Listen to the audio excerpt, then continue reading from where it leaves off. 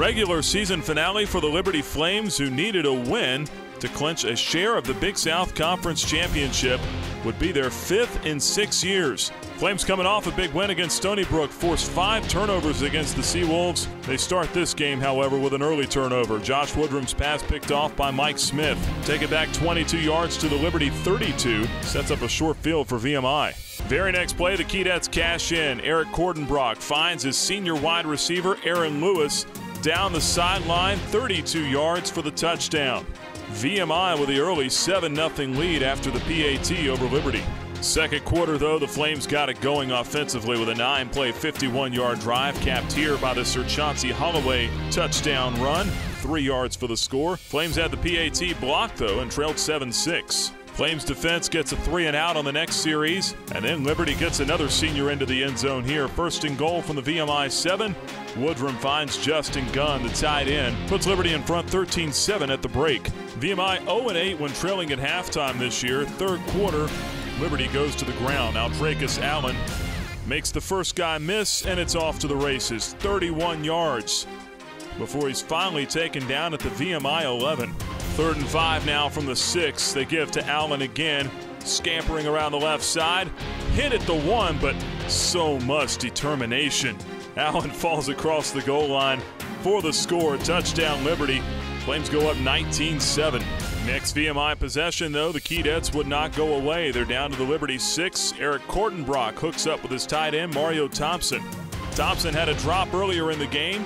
Takes this one into the end zone, though, six yards for the touchdown. VMI now down five, 19 14. Fourth quarter now, VMI driving again. It's a fourth and two in Liberty territory.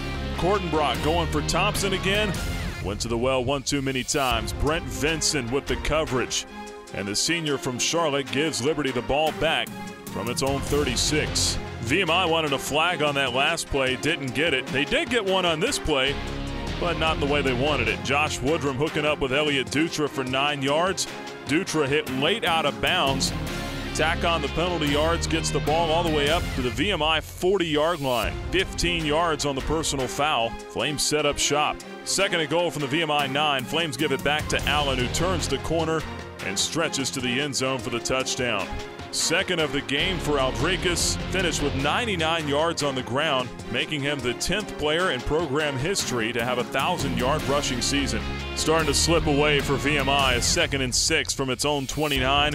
Kordenbrock drilled by Demetrius Ward, coughs up the football, and it's Toby Onichi coming out with it for the Flames. Liberty takes over deep in VMI territory. Down to the one, the Flames give it to the senior Sir Chauncey Holloway for his second rushing touchdown of the day. Holloway finished with 64 yards on 17 carries and two scores. Flames pulling away. They can smell the championship now. It's 33 14. Kordenbrock knocked out after that last sack. They go to the backup, A.J. Augustine. Gets it down to the Liberty 20, but he's picked off in the end zone here by Sori Bayou. First career interception for Bayou, and the Flames are celebrating a championship. 33 14, the final score. Liberty wins its fifth Big South Conference title in six seasons. They finished 6 and 5 for their seventh straight winning season, and Liberty ends the 2012 campaign having won six of its last seven games. Not bad for a team that started 0 and 4. They have great character. Uh, that's the only way you can have uh, winning six out of 11, seven games is having great character. I think also a great leadership of our players, our coaching staff, um, administration, uh, Chancellor Falwell Jr. Uh, giving us an opportunity to be here. Uh, athletic director there, Jeff Barber. Appreciate all the support and things that he does, and all the other support staff. And so our players really have a lot of resiliency. Uh, they had a lot of belief. Uh, and again, we just give all the honor to God and our, our Lord and Savior Jesus Christ. We appreciate Him always being there for us, and we just uh, trying to do our part. Uh, cried a little bit during the game, but um, I'm sure once everybody's kind of gone and I'm walking the field or in the locker room, it'll kind of set in or riding the bus. Um, it'll definitely set in then, and, and, I'm sure the tears will come. But um, just really proud of these guys, and, and I'm glad we could go out like this. Uh, I mean, it's definitely hard when you start 0-4, but I give a, a great deal of uh, a shout out to the seniors. I mean, they really they really stayed on us, made sure we stayed together, didn't go in any other pass, and uh, they did a great job doing that, and uh, it's a great win.